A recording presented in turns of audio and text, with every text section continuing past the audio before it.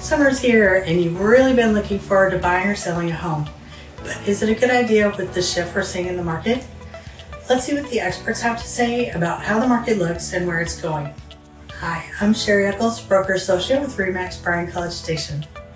I want to guide you to the best decision for your family and what will likely be your biggest asset, your home.